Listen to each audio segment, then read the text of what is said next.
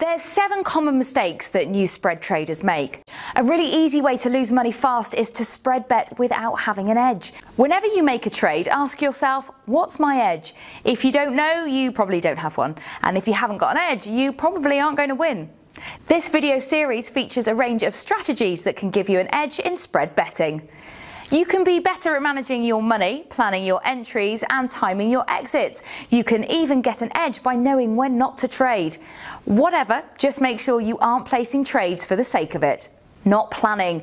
Beginners are surprised sometimes at just how much planning successful traders do.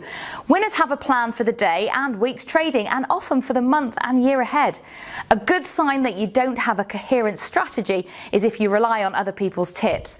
There's no shortage of share tipping services, but most don't have a record better than 50% and most tips only suggest an entry. They don't mention when you should close the trade.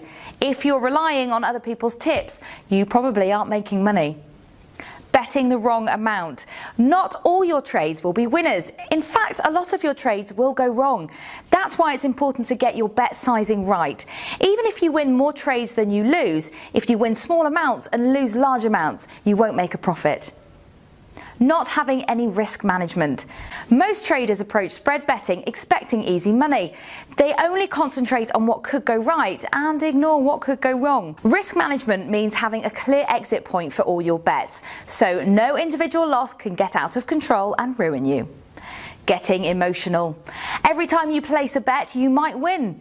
You might lose and you might break even. You don't know what will happen. However, if you have an edge over time, you'll come out ahead. Mistiming exits.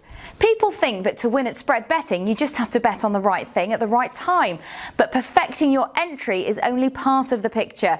And in reality, most people would be successful if they spent more time honing their exits. What I'm about to say might sound obvious, but if the markets are going up, you want to be betting that they'll go up, and if they're going down, guess what? You need to be betting short. There are studies going back to the 1930s that show people have a bias towards going long. For some reason, people prefer to bet that things will go up, even if things are going down. Don't be afraid to adjust your approach to whatever the markets are doing.